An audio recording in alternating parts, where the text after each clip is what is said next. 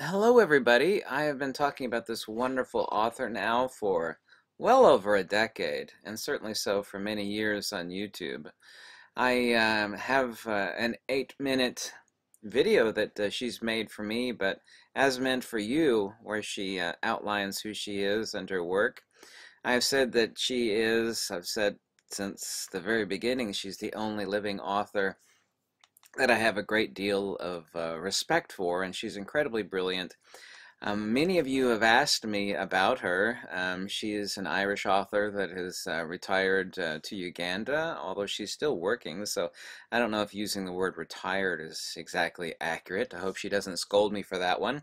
So I'd like to play you her uh, video talk to you people. I had requested this from uh, Miss Deirdre Carabine because uh, so many of you uh, ask me about her, and of course I have never personally met her. I would uh, love to meet her, and uh, they um, many of you have bought her book. Um, she has more than just these two books that I have listed here. The primary one being The Unknown God, Negative Theology in the Platonic Tradition, from Plato to Erugena. I say Erugena. She says Erugena.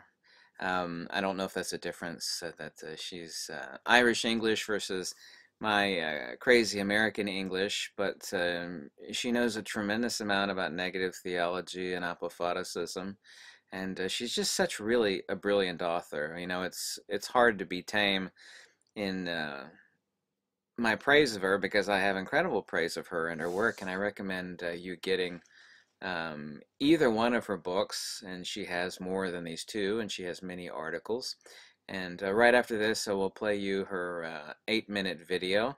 She also has uh, written this one on John Scotus Erugena, or I say Erugena, either way. And it is a brilliant book. These books are available on Amazon and other places. But she's just such a wonderful scholar, such an incredibly sharp mind. Um, women are far superior to men when it comes to intuitive metaphysics and uh, she's just brilliant. She's just such a brilliant author, and uh, I'm so happy that she made this eight-minute videos that I could show to you. She has given me permission to post this. Uh, she made this video uh, for me, but it is for everybody else. This video is not monetized. I just wanted to introduce her to you since so many of you have bought her book and uh, would like to hear from her. And my big thanks to Miss Carabine for making this uh, video. I know she has a busy life and things to do, so I really wanted to say uh, big thank you and uh, big blessings to uh, Miss Deirdre Carabine for her wonderful, kind gesture in uh, this video. Thank you, and now her video will proceed. Good afternoon or good morning or good evening, wherever you are. This is uh, a little introduction to myself and my work that I am sending to uh, Ken on his request because uh, he thought that people might be interested in seeing me in person and uh, hearing me talk about my work. So this is me. My names are Deirdre Carabine author of The Unknown God and the thought of John Scotus Eriugena. And um, I am Irish, as you probably hear from the accent. Um, spent my uh, early academic years in Ireland before moving to Uganda, where I'm now currently retired um, near the equator on the shores of Lake Victoria, quite idyllic, in fact. Um, I spent most of my working life in Uganda, so um, saw no reason to move anywhere else after retirement from um, teaching, I must say. I, am still doing my own research and the conference thing and publications and so on. So, Neoplatonism, I came to Neoplatonism as an undergraduate student. Um, reading um, the early medieval philosophers, and I was struck by a lot of what Augustine said, especially in the Confessiones. And that's how I came to Neoplatonism, really, through Augustine. So I eventually wrote a dissertation on um, Augustine, emphasizing his uh, understanding of the ineffability of God and how that God is higher than anything that can be the highest and yet and yet at the same time more intimate to me than I am to myself. So for postgraduate work, I then started to think more about this idea and decided to trace it back. I went back to Noah's Ark, basically, and uh, moved through Plato. The Middle Platonists didn't excite me greatly. I read Plotinus, and I fell in love. And I'm still in love with Plotinus, my first and only great philosophical love. I then moved on to Dionysius and found the language quite, quite off-putting in a sense.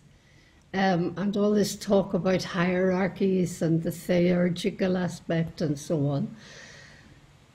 It was when I read Eriugena as a postdoctoral student that it began to cast a lot more light for me. That wonderful book called the Periphyseon on Natures, it began to cast more light on this very Dionysian theme, the monē, the proodos, and the epistrophe, not as a, a time bound happening and then going out and then returning, but as a constant, instantaneous going out of the good God from God's self um, into all things, because there is nothing else other than the good, the one, God. So it's a constant going out and returning. There can be nothing outside of God. So the Eriugenian, or Eriugenian idea of God being at the same time everything and nothing began to make sense in the of the Dionysian triad, the Neoplatonic triad.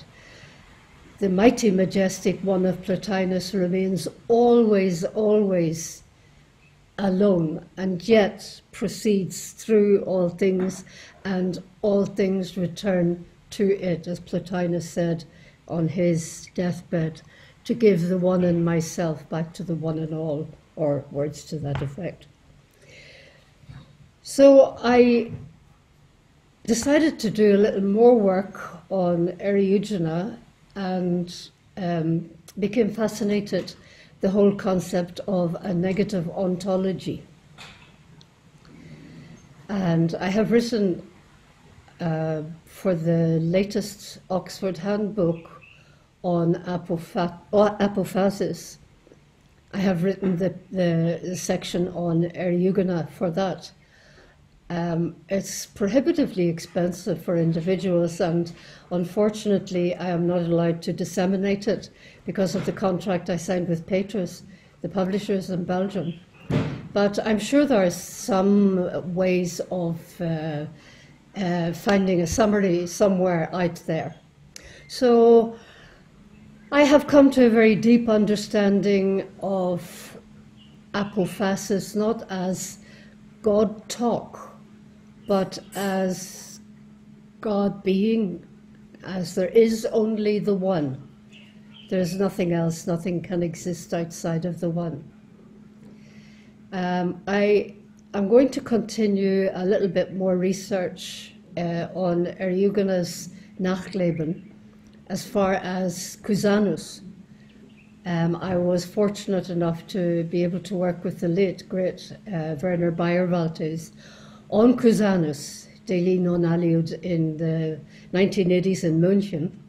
And that greatly enhanced my understanding of uh, a negative ontology, as it were. And uh, oh, I should mention that uh, one of my mentors during my very early work on Plotinus was um, Arthur Hilary Armstrong. I still have his correspondence with me. So I'm of an age now where I um, had contact with these great thinkers of uh, our times, who are sadly now no longer with us. And I have benefited very much from their, um, their mentorship of me as a young academic. I have since retired, as I said, from teaching, but I will never retire from thinking. You can't, of course. So I am continuing to do my research. I am still fascinated by Neoplatonism. Ken's work is absolutely fascinating, although extremely difficult um, for someone like me to understand the very technical aspect. Um, kudos to Ken for all that. So that's me. This is Deirdre Carabine sitting quietly in her study on the equator, um, working away on the one, the good, Plotinus, Eriugena, and Cusanus. So many thanks for listening and wishing you all every success in your Neoplatonic studies. Thanks for listening.